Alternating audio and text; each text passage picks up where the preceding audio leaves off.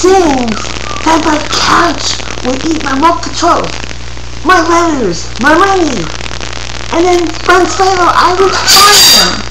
I wouldn't find them when I looked for it. Then I would find them that stole my stuff.